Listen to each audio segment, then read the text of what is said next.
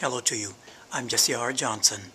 I'll be speaking to you about the heliocentric religion, heliocentric model. Its political mechanism is reversal of facts. The heliocentric model is a religion, and as such it is taught to the unsuspecting from the earliest ages all the way to death. In this case, they never know that they've been taught a religion masquerading as science. The heliocentric model is not science. It contains about 15% science, and the rest is 100% falsehoods and lies. The mechanism to this religion is to find facts, if possible, about astrology, pardon me, about astronomy, and reverse them. Intentional deception making the heliocentric model a lie.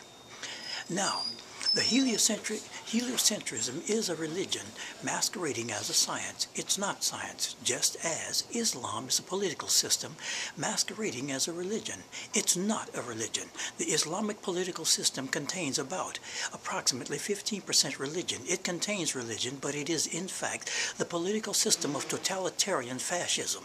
The religion of heliocentrism, sometimes called the heliocentric model, contains about 15% science.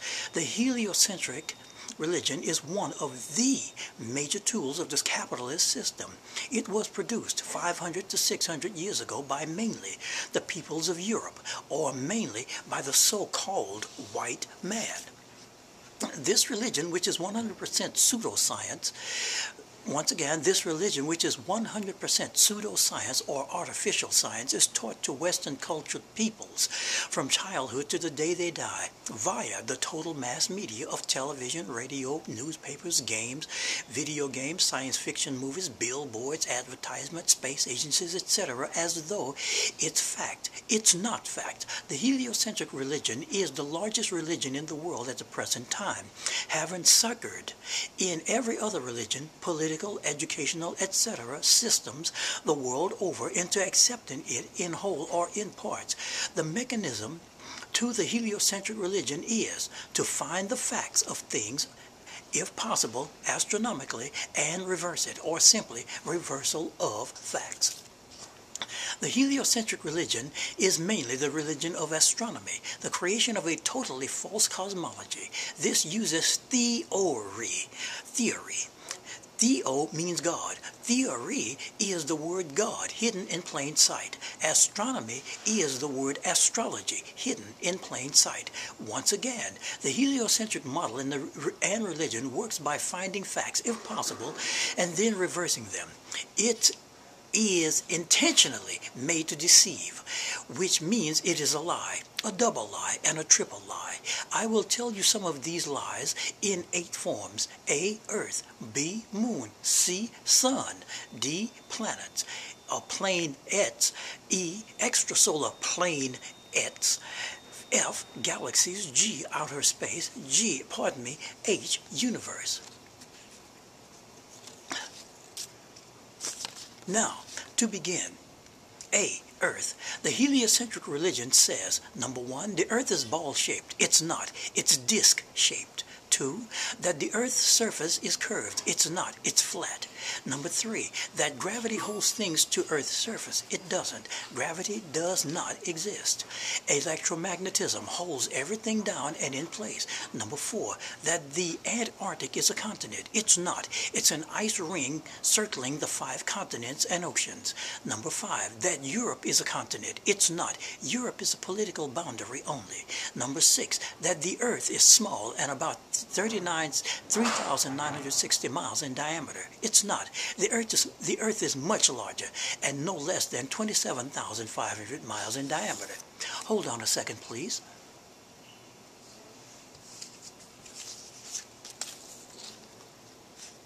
Now, to continue. Number seven, that the earth is solid. It's not. It's porous, with massive hollows, caves, and extreme gigantic caverns throughout.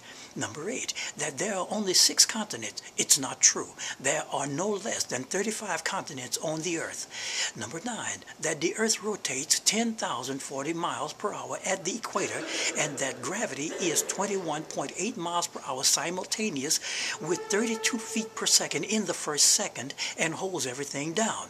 That a 21.8 mile per hour acceleration force is able to hold down oceans moving at 1,040 miles per hour acceleration force in that first second.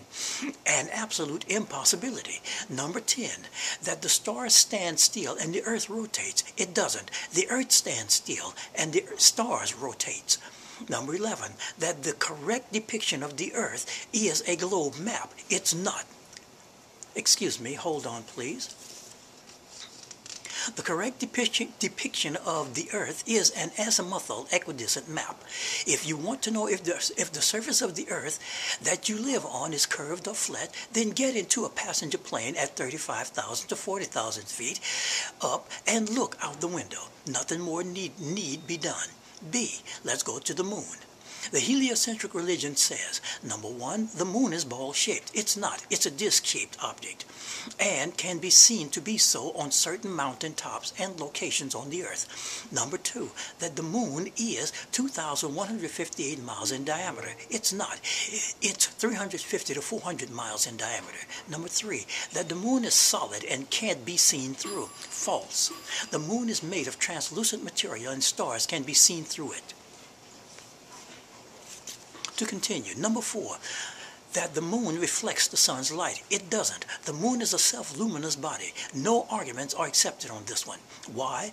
Because I personally see it's the case almost every day in the morning. Number five, that the moon is 239,000 miles from Earth. It's not. It's about 3,000 pardon me, 3.5 thousand to 4,000 miles from Earth. Number six, that the moon is never closer than 230,000 miles away. Not true. The real moon gets several hundreds of miles away at times and looks very, very large indeed. Number seven, that the moon's phases perfectly matches with the sun. It does not. Half moons can be seen almost every day in the morning where I live with both the sun, which is a floodlight, and the moon in the sky straight across from each other at the same time. To continue. Number eight, that the moon cannot be seen seen through. It can. The moon is translucent and starlight can be seen through it. Number nine, that the moon is 239,000, pardon me, that the moon is 239,000 miles away. It's not. Craters, structures, and rocks can be seen with zoom lens cameras and small telescopes.